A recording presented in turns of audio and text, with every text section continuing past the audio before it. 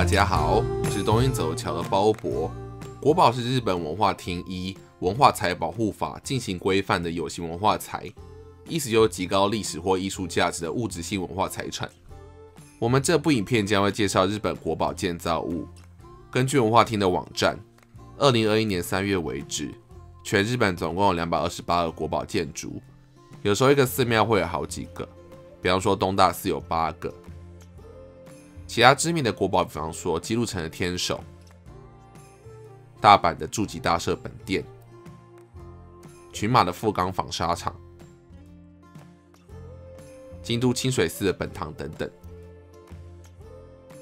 这些国宝通常也是知名的旅游景点，甚至有些是世界遗产，很适合喜欢历史文化的观光客参观。那我们这部影片就来介绍这些国宝建筑给大家吧。位于京都宇治平等院的国宝凤凰堂，就是日币十元上那栋建筑物，与附近的国宝宇治上神社皆为世界遗产的一部分。大家就来探访这两个具有历史的建筑，吃个宇治抹茶甜点，散散步，来场精彩的半日游吧。宇治是位于京都市的东南边。距离京都车站大概半个小时的车程即可到达，人口约十八万人，以平等院以及宇治抹茶闻名。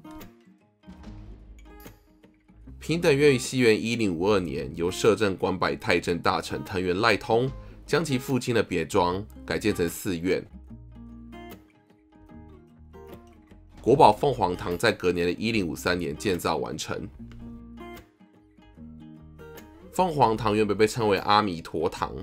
将近一千年来幸运的逃过战火而保存至今，由于具有历史意义，在西元一九五一年被日本指定为国宝。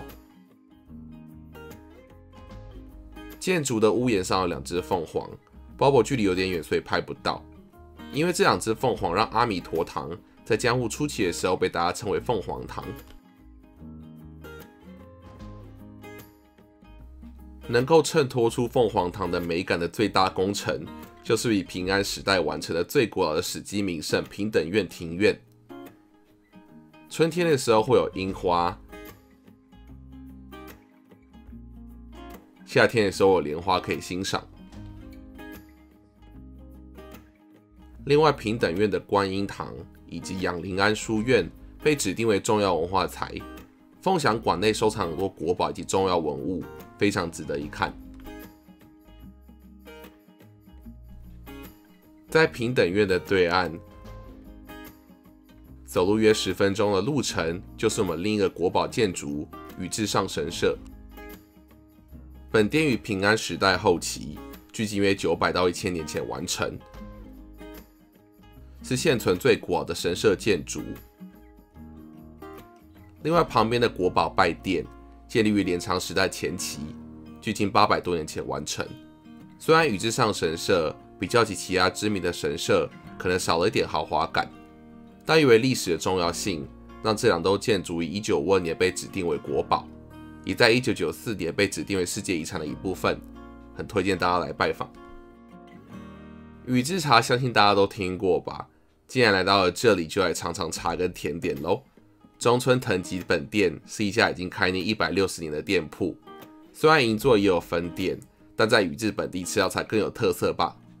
本店是明治时代的茶商宅邸，非常的有特色，且景观很好。我们点了宇治本店限定的马路豆 parfait、火鸡茶生茶 jelly，还有刨冰。甜点装在竹子里面，真的超有感觉，而且分量很大，每挖一口就有不同的惊喜。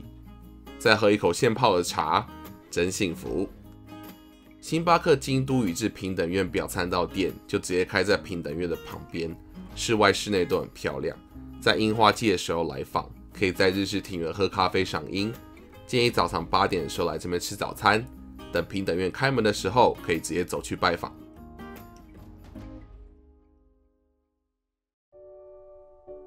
以上就是这次的介绍喽。如果喜欢我们的内容，还可以订阅、follow 我们的 YouTube、Facebook，还有 Instagram 看更多内容。我是鲍勃，大家下次再见，拜拜。